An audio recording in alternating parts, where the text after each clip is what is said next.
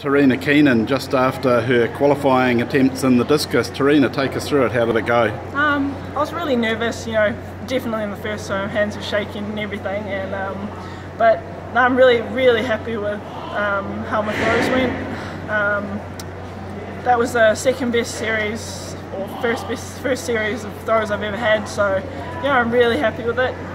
Yeah, yeah 59-20. Um, you certainly dented a few reputations there. You went in with a, a fairly uh, low ranking in that field. I think the 15th out of 15, and you finished ninth in that one. So you'd be happy with that? Yes, I'm definitely happy. I mean, the girl who won World Unis came 15th.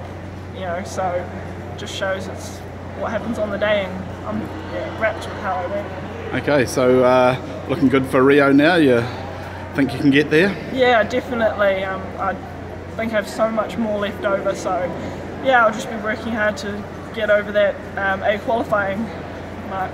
Excellent. So uh, what does the rest of the champs hold for you? A bit um, of relaxing? Yeah, a bit of relaxing, supporting the other athletes. We've got quite a few people still on at the end, so you know I'll just be supporting them and then hopefully doing a little bit of sightseeing. Excellent. Thanks.